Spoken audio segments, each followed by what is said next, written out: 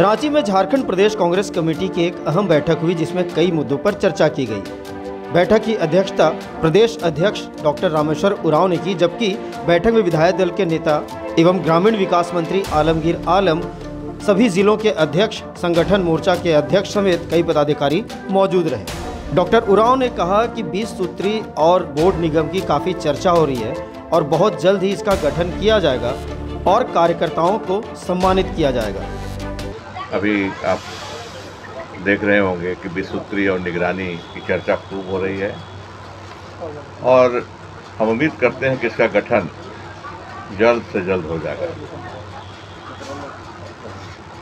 इसके संबंध में हम लोग चर्चा किए, उनकी राय मांगे।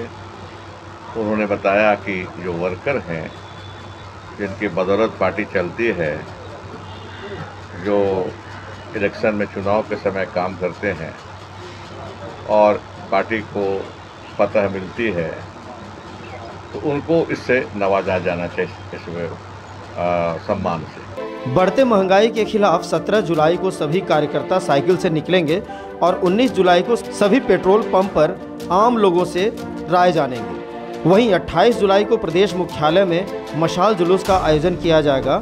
साथ ही आउटरीच अभियान जो चलाया जा रहा है, उसकी जानकारी लोगों से ली जाएगी। हमारी कांग्रेस पार्टी सोनिया जी की अध्यक्षता में ने निर्णय लिया है कि सरकार को, केंद्रीय सरकार को, जो इसके लिए जिम्मेवार है, महँगाई के लिए, बेरोजगारी के लिए समझ लीजिए, केंद्रीय सरकार जिम्मेवार होती है। तो केंद्रीय सरकार जिम्मेवार है, उसका ध्यान आकर्षित किया जाए।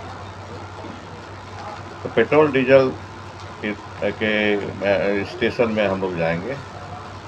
हमारे लोग जाएँगे, रजिस्टर लेके जाएँगे और उसमें सबसे दस्तखत कराएँगे जो इस तरह से बोलते हैं कि हाँ महँगाई की मार उनमें पड़ रही है, उनको दिक्कतें हो रही हैं महँगाई की वजह से तो उनका दस्तखत हम लोग लेंगे। न्यूज़ अपडेट के लिए आप हमारे चैनल को सब्सक्राइब करें। आप हमें फेसबुक और इंस्टाग्राम पर भी फॉलो कर सकते हैं। बने रहे लगातार डॉट इन के साथ।